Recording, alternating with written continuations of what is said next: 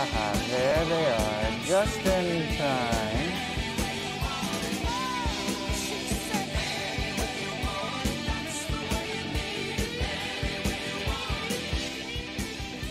I thought I heard two bins. That was just one. Okay, we got Denver now.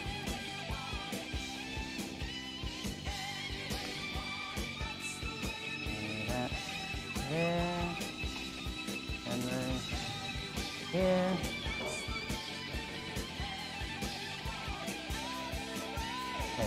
So far. All right.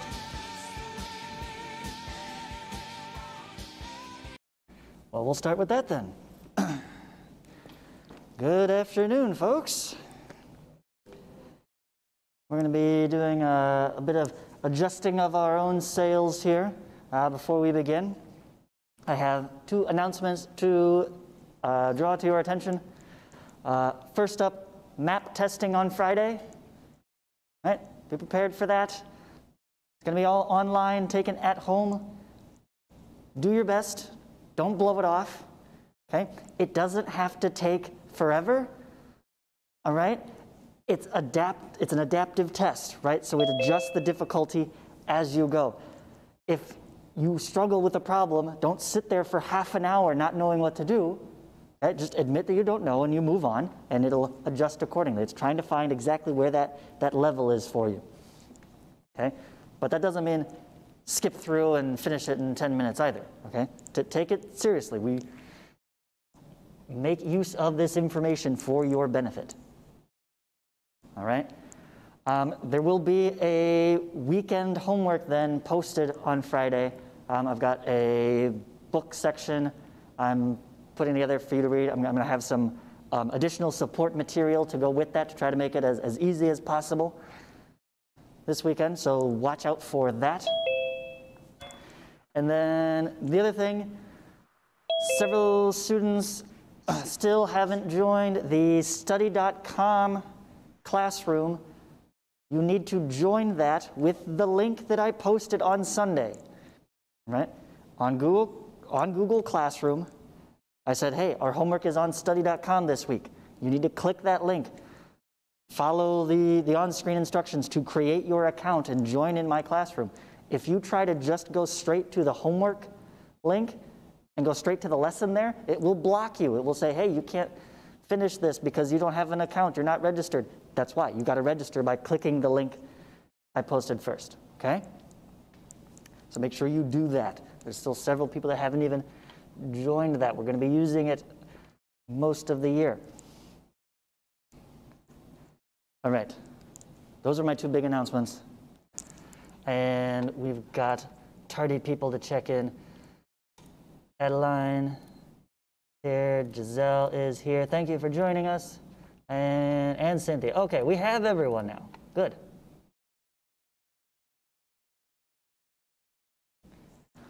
All right. Then let's return to forms of valid reasoning. Right.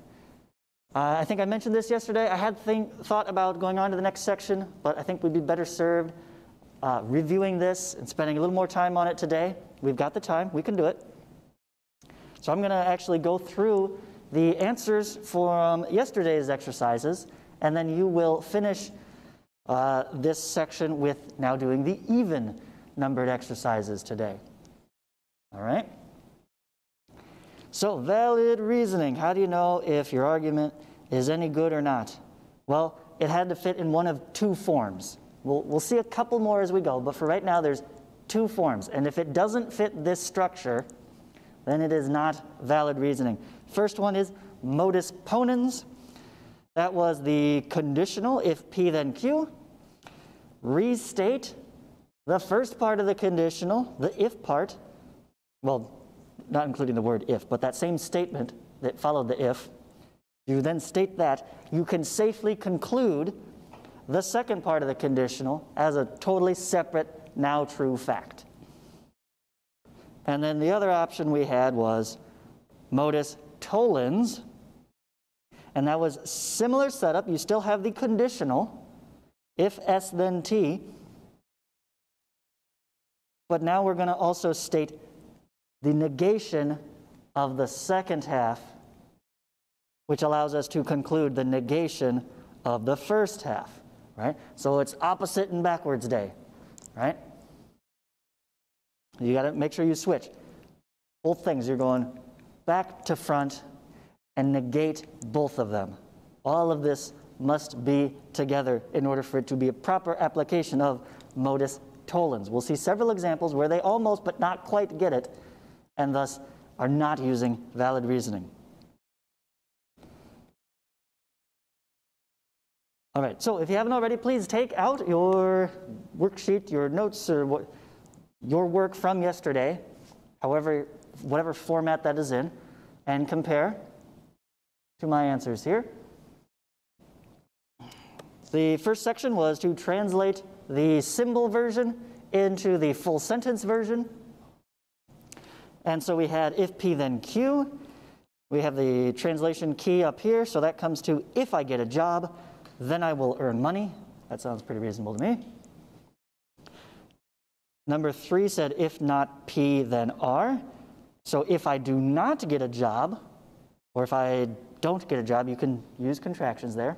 Or it is not the case that if I get a job, right?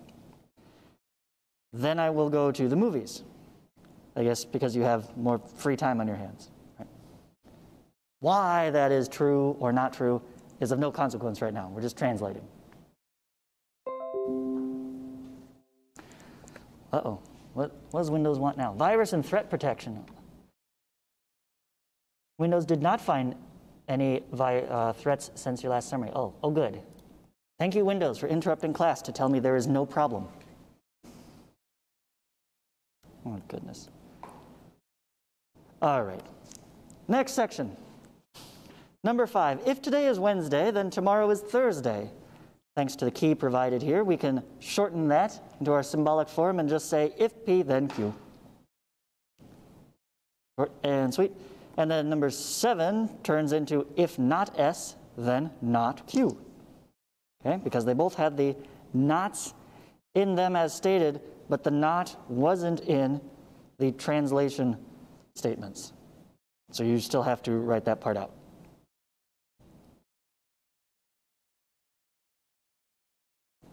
All right. Next up, we have the Venn diagram illustrations. So here is one possible illustration for number nine. The exact shape and size is of no consequence. You can use circles, you can use squares, you can use some uh, crazy squiggle blob. I, don't, I really don't care. But the important thing is that R has to be entirely inside of S, whatever shapes you use to designate them. Uh, I've got blue text, I should use the, red laser. Okay.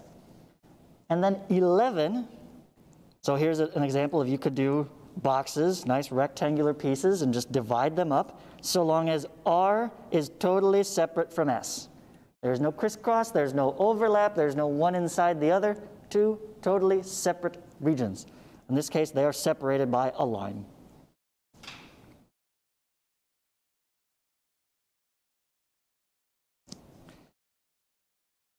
And then 13, there's another example actually of the same picture, right? Two totally separate regions.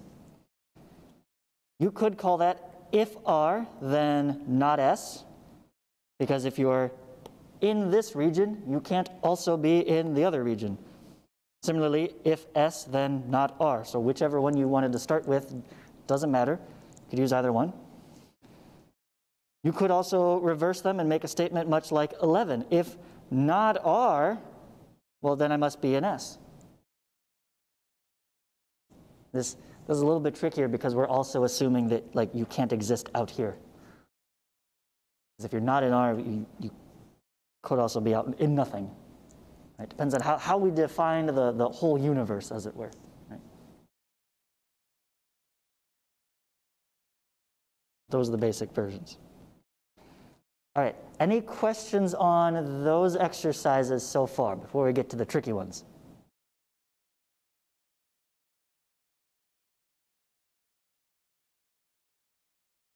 Okay. Then for the next bit, In 15 through 29, this is where you really had to start thinking through these things. They would present you with most of an argument, the premises. You had to come up with what, if anything, was the conclusion, a valid conclusion. And then, if you did find one, what process did you use and outline it with the symbols? So, I had already done 15 in class yesterday. I had to shrink it there to make room. So, the next step is 17. 17 says triangle ABC is isosceles. If a triangle is isosceles, then its base angles are congruent. Notice I did not repeat exactly the same thing here. This is the way we're going to encounter these more often than not, is that one, usually the conditional, will be very generic.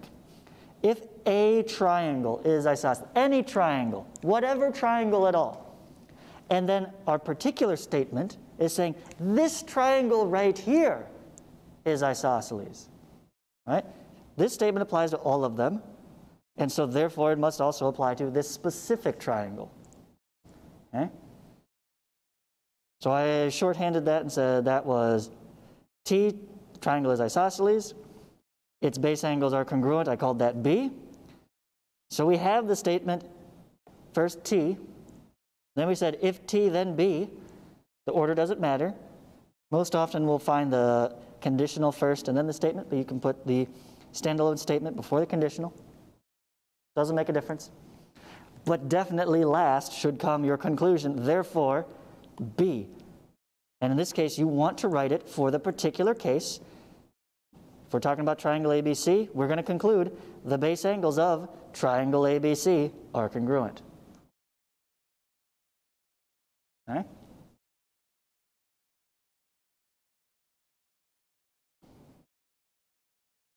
Now, here's where people started messing up. Following the pattern is easy. Realizing that the pattern is not being followed is where it gets hard. And it's not just you, it's everybody that does this, right? Think of, we're approaching this from a math standpoint, but all of this is logic and reasoning and can be applied in a argumentative, um, rhetorical sense, right? Speaking to someone, trying to make a linguistic argument, having a debate with someone on any topic.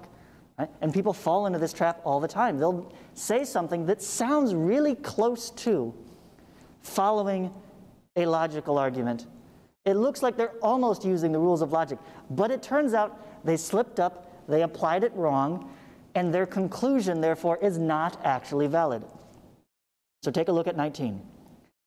If Merlot the Magnificent performs magic on Wednesday, then he will receive his royalty check from the Magician's Guild. Sounds fair. You do your job, you get paid. Okay? Merlot the Magnificent performs magic on Thursday, but not on Wednesday. Uh oh. He screwed up. He did it the wrong day. Does that, does that mean he's not going to get paid? Does that, does that mean, well, not necessarily. He's still performed. So there's like, you could argue either way. It would make sense either way. They still pay him, or maybe they, they pay him less. Because it was like, okay, you did it, but it was the wrong day. We're going to, you know, it's late work, right? He was a day late, minus 10%, right? Dock you for late work. But you could also, but we don't really know. We don't know all the details of the contract. We only know that if he did it on Wednesday, he definitely would have gotten paid. That didn't happen. But that doesn't prevent him from getting paid anyways, and it doesn't automatically mean they wouldn't. Nobody said anything about Thursday. Maybe there's a secret, invisible uh, third statement here that says if he performs on Thursday, he will receive his royalty check. You don't know. There is no valid conclusion here. You can't decide. You don't have enough information, or you don't have the right pieces of information to go together. And people make this kind of mistake all the time. It sounds reasonable. It makes perfect sense. They're like, oh, well, he didn't do it Wednesday. Guess he's not getting it. Uh uh Nobody said he couldn't get it. Okay. I think uh, 23 um, is an even better example of that. We'll get to there in a minute. 21, though, this one's a little, little funky, right? We can totally use logic on algebra. This is bonkers. If 2x plus 3 equals 17, then x equals 7. That's, that's just solving an algebraic equation, but now we're writing it as a conditional statement. And now we've added this one. Oh, wait, but x does not equal 7. We have negated that second half, which means we are in the realm of modus tollens, right here, mt, and our conclusion is that 2x plus 3 does not equal 17. That should fit. We should understand that. You could solve this equation, get x equals 7. Okay, it should be 7. But I'm not using 7. If I try to plug in, not 7, plug in 8, 5, or any other number, you won't get 17. That's what this is saying. If you don't use 7, you won't get 17. Like, oh yeah, right? That's ex exactly how we understand algebra to work. So this is correct. And so the full write up there, if I call those statements A and B, I started with if A then B, then stated not B, therefore not A. That's modus tollens. All right. 23, another example of bad reasoning. If Van takes the bus, then she will be late for her job interview. Van does not take the bus. What we've done here is we have negated not the hypothesis, the first part of the conditional. That doesn't do anything for us. And I think this example is much more easy to understand why we can't conclude there. If you know what the bus schedule is, you map it out, you look it up. Okay, if I take the bus, I get here at this time, that's after the start time, shoot, I will be late. That's that first statement. If she takes the bus, she will be late. She does not want to be late. So therefore, she doesn't take the bus, right? That guarantees lateness. But does not guarantee taking the bus guarantee she'll be on time? Not at all, right? You can still be late even if you didn't take the bus. You could drive, get stuck in traffic, right? Especially if there's a train crossing, maybe. There, maybe there's an accident. You can't control that. Construction out on the highway, you'll be late anyways. We don't know. There is no valid conclusion from here. Right?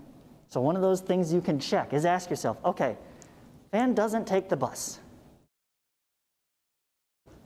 Can she be late anyways? If you negate the first half, ask yourself does that actually mean you can only get the second half? Or could there be another way to it?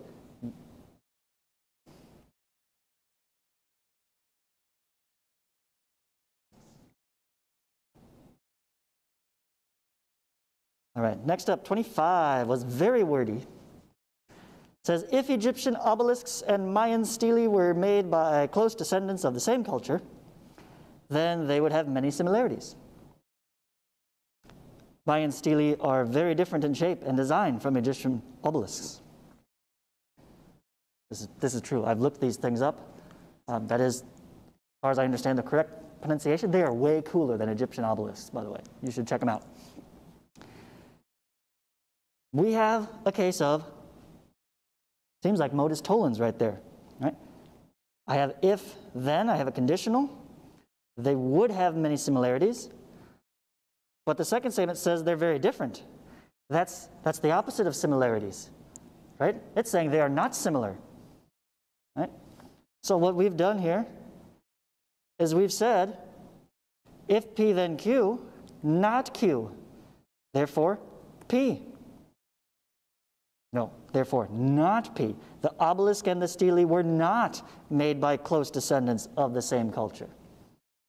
Eh? They are too different to be an excuse for uniting these people together. All right. Next is 27. If ABCD is a rectangle, then its diagonals are congruent. The diagonals of ABCD are not congruent.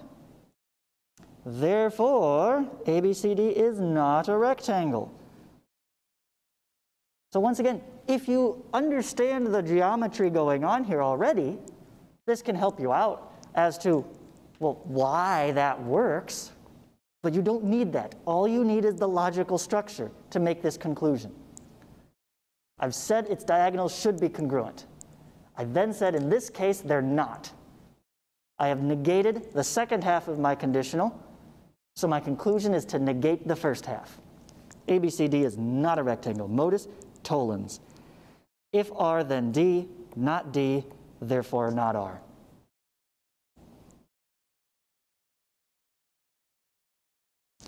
And then finally, number 29. Similarly, we have if the lengths of the three sides of triangle ABC are 8, 15, and 17, then the triangle is a right triangle. The lengths of the three sides of ABCD are not 8, 15, 17. Oh my gosh, I've said many of the same words, but I added a negation here. However, this comes from the first half of the conditional, which means I can conclude nothing. And if you know anything about right triangles, you will know there's, there's not just one. It doesn't say the lengths of the three sides have to be 8, 15, and 17, and that's the only way to make a right triangle. No. We know ABC, ABC is not those numbers. But there could be, in fact, there are many other combinations of side lengths that could still make a right triangle. So with that bit of geometry knowledge, you can come up with a counterexample. But this alone, from that structure, says mm, there's, there's no valid conclusion. I can't say ABC is a right triangle or not just because it's not those measurements.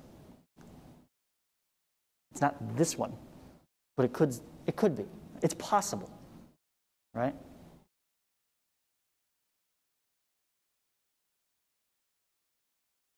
Okay. Any questions on those ones so far? Because the next few are different. In here, good. Zoom, we're good to go.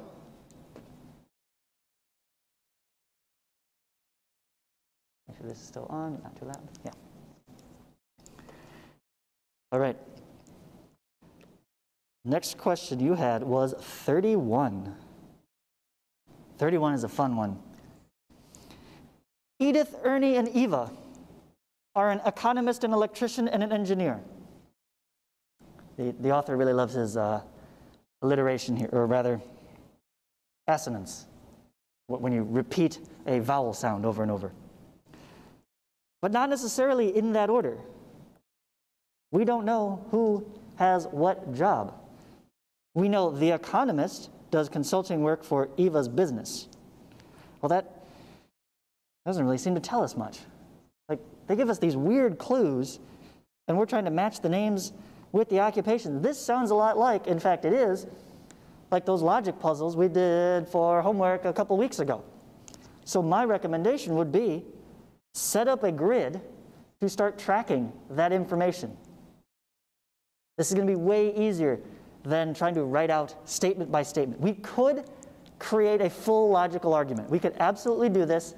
It'd be like a chain of seven modus tollenses of like, well, if he was this, he would have had that one, but it says no. Therefore, he's not that. And it's a process of elimination. That's what we have to go with, because it doesn't tell us any of the jobs. We can work out which jobs they aren't doing, though. If The Economist does consulting work for Eva's business, then we know Eva can't be The Economist. She wouldn't do consulting for her own business. She's already there, right? So we can cross that out. Eva is not an economist. Next. Ernie hired the electrician to rewire his new kitchen. If Ernie was an electrician, he doesn't have to hire himself. He would just do it, right? That would be, that'd be kind of weird. So Ernie is not the electrician.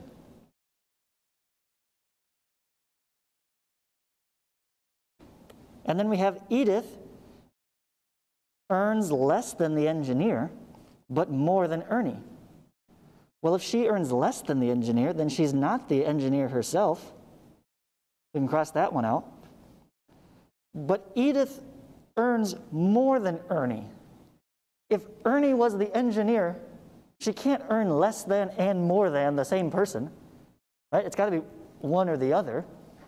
So Ernie can't be the engineer either. So we can cross that out. Ernie is not the engineer. And now we're running out of possibilities. Across this bottom row here, there's only one opening left. It has to be Eva is the engineer. And if Eva's the engineer, she's not an electrician, which once again leaves only one opening left. Edith must be the electrician. And similarly, we can look on the columns and say, hey, Ernie has been eliminated from electrician and engineer. The only thing left for him in is he's got to be the economist. And then, of course, Edith is not the economist. All right?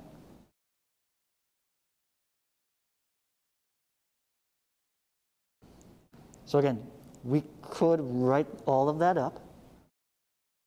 That's not our goal here. We're just trying to figure it out. So tracking the information is the important thing here. My recommendation is a grid like this. Question 32, which you will complete today, is a similar setup, right? We've got Ajabia, Karina, and Dottie. A, B, C, D. See what he did there? All right, all play different sports teams. So you're trying to match up which person plays which sport.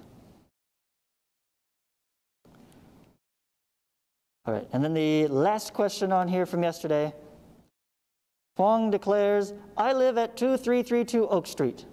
Izuru replies, I don't believe you. Prove it. How, how could he do that? What is one way he could show Izuru, I definitely live here? There's a lot of answers here.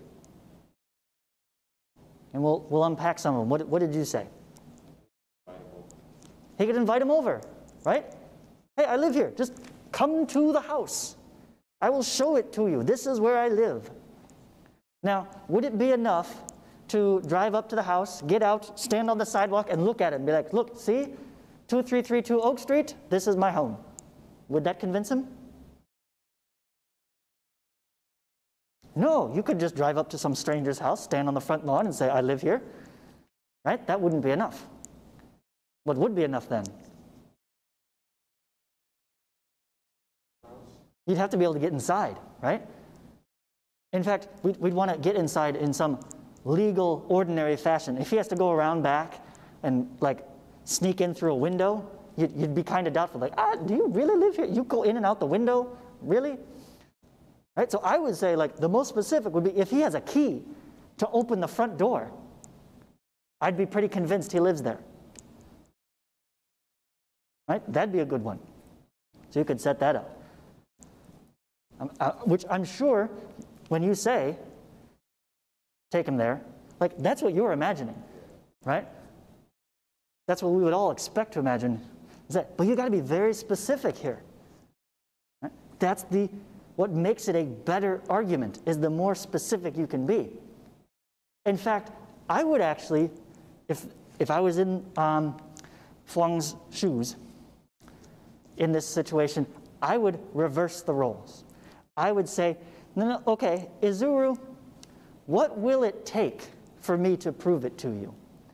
Let them set up the condition. Okay? Because otherwise, he could play devil's advocate just like I did there. Right? Fong could say, All right, I'll take you there. And then they drive over, and Izuru was like, Okay, we're just standing out here. I still don't believe you live here. All right, fine, let's go inside. Right? Just getting inside. Anybody can get inside. I can break that window and get inside. That's not enough strong. You got to do better. Right? So rather than set yourself up for failure after failure, my recommendation to you, if you are in a similar situation where somebody is asking you to prove it, right? and you're in, you're in a debate and you actually want to convince them, Let them create the conditional, and then you fulfill it. Right? Okay, Izuru, what would it take? And if Izuru says, well, if you can show me that you have the key that opens the front door, then I will believe you live there. And you go, okay, here we go. The key opens the front door. You show it to him, boom. He sets up the conditional, you provide the statement, and then modus ponens, conclusion, he believes you live there. We could also have, maybe um, Izuru says, if you can show me on your driver's license and at least two separate pieces of mail addressed to you at that address, right? You ever applied for ID? They always ask for two pieces of mail, right? I don't know what's with that. Right? That'd be a good one, right? If you can bring two pieces of mail, right, to your name, they have to be to your name, not just to the address, or to resident of, with your name and that address, then I will believe you. That's what they always say. The, maybe he's at the DMV, right? Izuru works for the DMV. I don't believe you. With a library, applying for a library card, they do the same thing. Bring two pieces of mail. They set up the conditional, and then you just fulfill it. Boom, proven. They can't refute that. Well, they can, but you have limited it to that they only have two options. They either accept it as true or they deny reason itself. Right? That's a pretty good position to be in. That's where you want to stand. Right? Okay, any questions on the exercises from yesterday then? All right, then I leave you the rest of the time to work on the even numbers now. So go back to the top and now do 2, 4, 6, 8, and so on until you get to 34. 34, here's a great question. Um, we'll have more examples of this, like determining the logical argument in an advertisement. What are they actually trying to say, right? Like they always say, if you're a real man, then you will wear this deodorant. And I keep seeing a bunch of deodorant commercials. What does that say about me? Right? That, that Dr. Squatch soap. You, get that one a lot? Yeah. right? Yeah. They're like, oh, yes, manly man. If you want to attract women, then you will use Dr. Squatch soap. That's the argument they're making, right? What is this argument trying to say about uh, the fish? Write that out.